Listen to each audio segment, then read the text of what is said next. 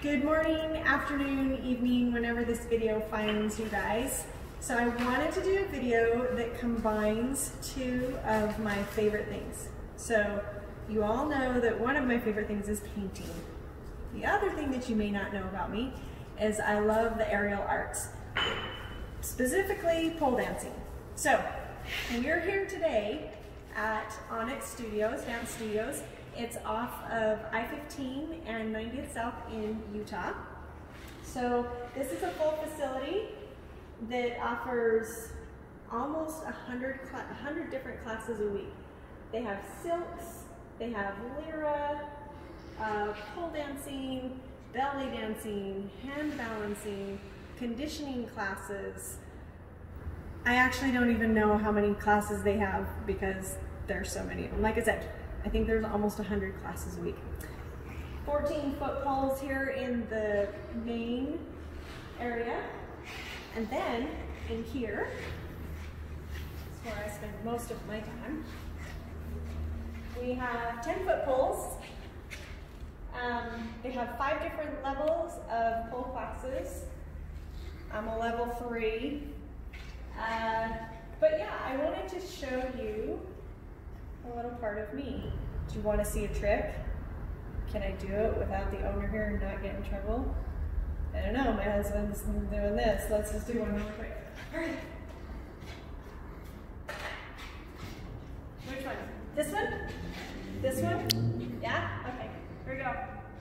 So, artist slash pole dancer. Ready? Ooh.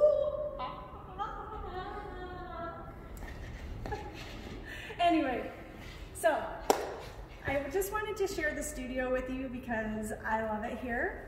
Um, it's for all ages. I'm obviously not a spring chicken, but I love being here. So I decided to combine the two. A lot of you have seen my aerial arts painting line, and I wanted to give one of my paintings to the studio that has provided such an amazing space. Ah, sorry, for so many people. Okay, so with that being said, combining the painting with the studio, uh, this is actually one of the instructors, this silhouette is actually one of the instructors that teaches here at Onyx. One of the great things that I love about this facility is they have instructors that are internationally renowned. Um, and it provides a space for men and women to come and be empowered in so many different ways. So right now, the studio is closed because of COVID. Uh, they have been observing what they've been asked to do. Hopefully we can reopen here soon in the next couple of weeks.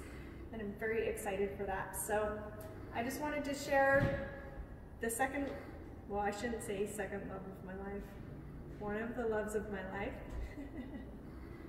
with another love of my life and give you a little insight to, to me, I guess. So have a great morning, afternoon, evening, and we'll see you in the next video.